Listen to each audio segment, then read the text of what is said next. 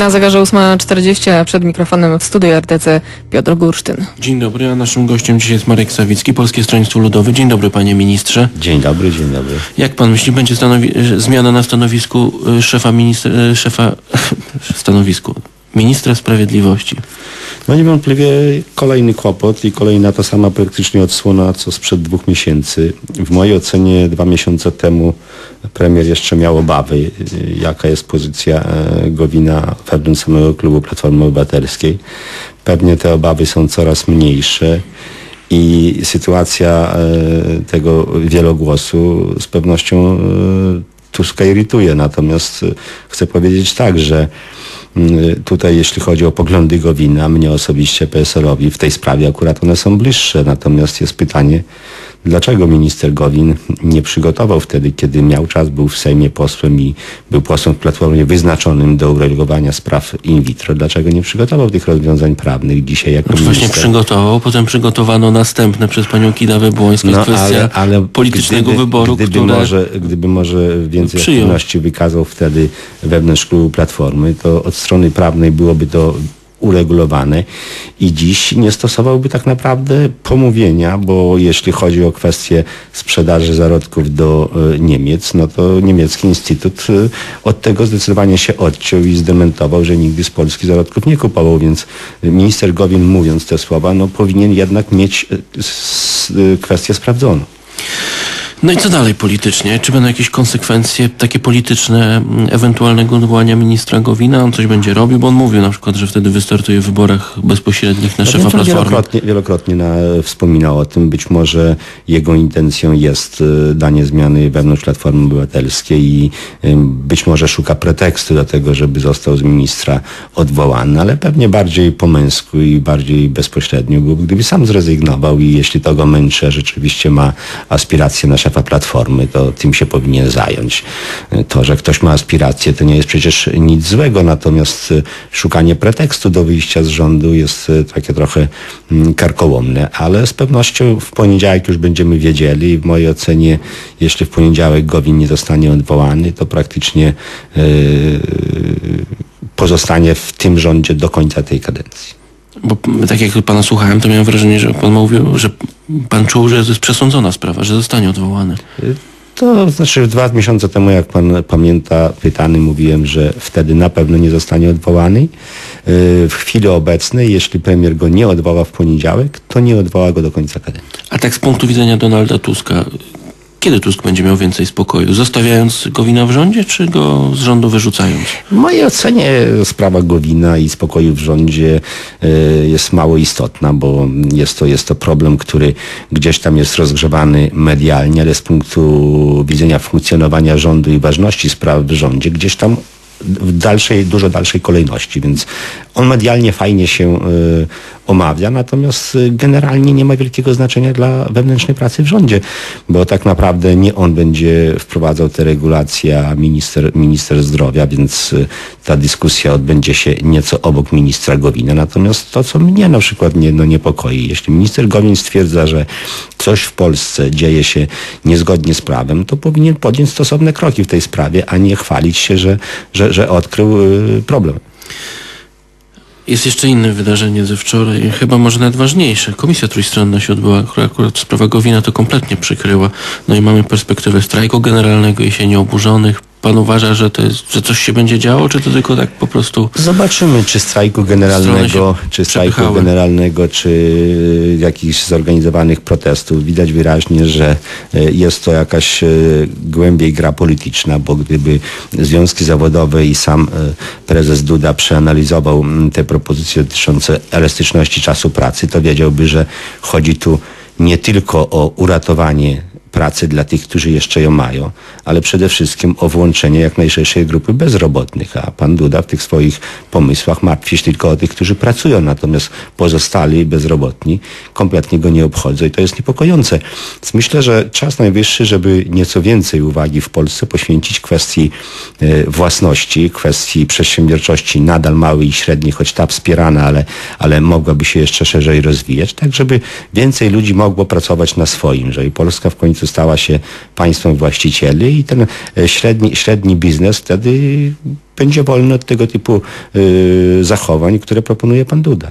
A nadal jest takie napięcie między ministrem pracy y, Kośniakiem Kamyszem, a ministrem finansów, jeśli chodzi o komisję trójstronną, bo to kilka razy dochodziło do takich sytuacji. Zresztą w zesz- zeszłej kadencji, kiedy tam Waldemar Pawlak był, że, że minister akurat tak się składało z PSL-u, który reprezentował rząd, coś ustalał ze związkowcami, pracodawcami, a później minister finansów i premier to wywracali. Jest to napięcie, dlatego że obaj są po różnych stronach, jeśli chodzi o problem, bo y, minister Rostowski bardzo y, mocno pilnuje kwestii y, dyscypliny finansowej, budżetowej i często zachowuje się w mojej ocenie zbyt restrykcyjnie w zakresie oszczędzania, natomiast y, nie wprowadza instrumentów, elementów aktywności czy aktywizacji gospodarczej, wspierania tej aktywizacji. Natomiast minister Kosiniak-Kamysz, no, odpowiadając za y, kwestie polityki społecznej, także w dużym stopniu no, musi szukać sposobów na przeciwdziałanie temu bezrobociu i jednym z nich jest, chcemy, chcemy czy nie chcemy, ten sławetny już fundusz pracy, który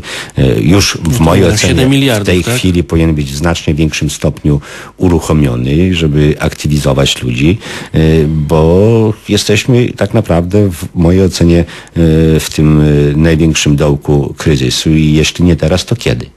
Ten fundusz miałby być No dobra, wy przedstawiacie brany? swoje racje, rzeczywiście trzeba aktywizować. E, W takiej narracji minister Rostowski wychodzi na jakiegoś fanatycznego, nie wiem jakby to powiedzieć, szaleńca, który nie rozumie, że trzeba aktywizować. No może a, mo- a, może, a, może, a może racje są po jego stronie. Rzeczywiście mniejszym złem są te oszczędności. E, Może, może, może nie szaleńca, ale zdecydowanie w warunkach kryzysowych trzeba szukać instrumentów aktywniejszego wsparcia gospodarki trzeba się właśnie zastanowić nad kwestią tego funduszu. Trzeba się zastanowić nad kwestią może wydłużenia e, okresu obniżonej składki na ZUS dla samozatrudniających się z dwóch do trzech lat.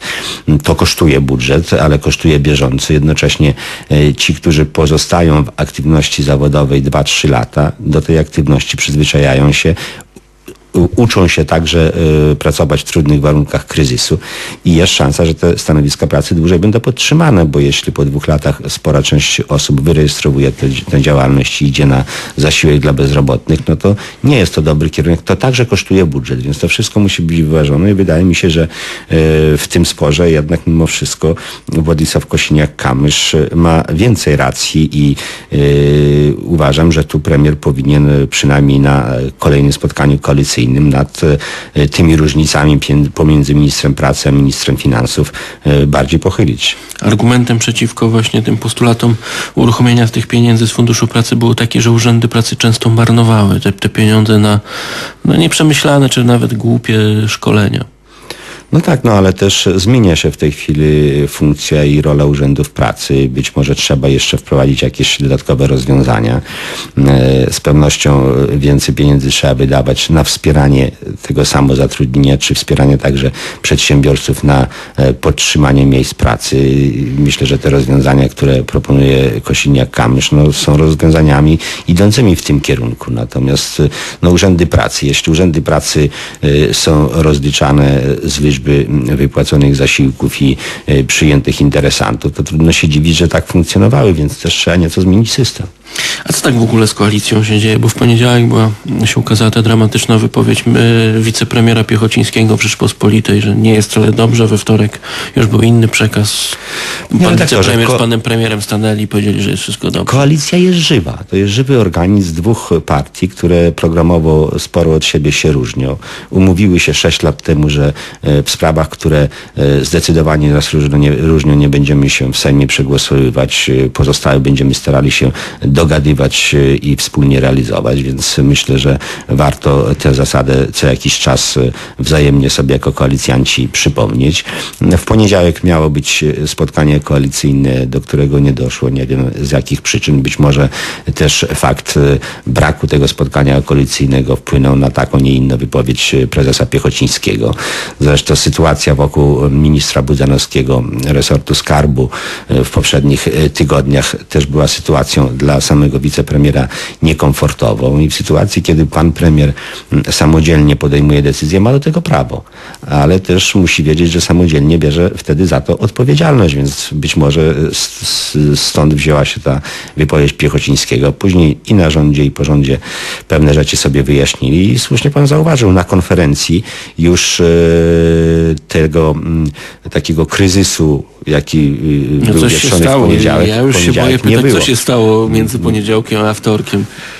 No ja nie wiem, bo ja w tym nie uczestniczę, więc e, też mogę się tylko e, domyślać. Natomiast e, no, z pewnością odbywa się rozmowa obu premierów Żeby nie i było sobie zbyt pewne miło, rzeczy. Eugeniusz Kłopotek dorzucił szuflę do, do pieca. Jest największy kryzys, on się czuje nieszanowany przez koalicjanta. Eugeniusz Kłopotek jest to taki pupil medialny, który oczywiście od czasu do czasu dużo mówi, czasami wyprzedza zdarzenia.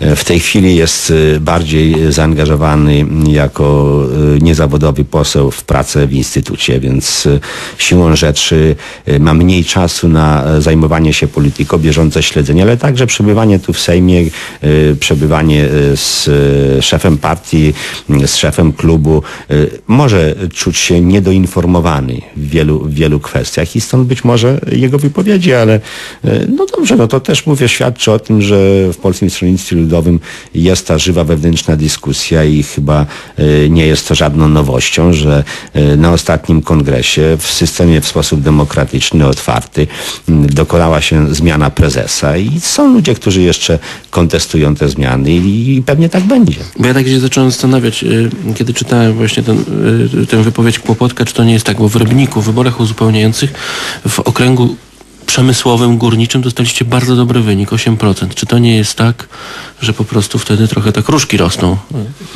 Nie, nie sądzę, natomiast rzeczywiście tam, gdzie y, są słabe struktury PSL-u, uzyskanie 8%, 8% wyniku jest to dobry sygnał. Myślę, że warto pracować szerzej nad tym. Tak jak powiedziałem, warto również prezentować te nowe elementy programu w ramach także y, Centrum dla Polaków z PJN-em, być może z kolejnymi środowiskami politycznymi, gdzie rzeczywiście trzeba jeszcze raz zrewidować poglądy na polską gospodarkę, na sposób zarządzania państwem, gdzie jednak kwestia e, tego, tej własności właścicieli, e, rozwoju małej, średniej przedsiębiorczości, oparcia funkcjonowania państwa bardziej o rodzinę i e, gospodarowanie także e, żywymi zasobami Panie rodziny. ministrze, bo już zegar nas goni. W Rybniku mieliście sukces, kawałek dalej na mapie, na Podkarpaciu jest skandal z marszałkiem. No jest to skandal, jest to skandal, jest to ogromna plama na honorze Polskiego Stronnictwa Ludowego. Pewnie długo będziemy się musieli y, y, z tym mierzyć, ale no miejmy nadzieję, że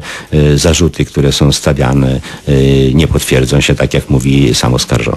Dziękuję. Marek Sawicki, Polskie Stronnictwo Ludowe, był dzisiaj gościem Polskiego Radia RDC. Dziękuję panie ministrze. Dziękuję bardzo. Rozmawiał Piotr Gursztyn na zegarze 8.52.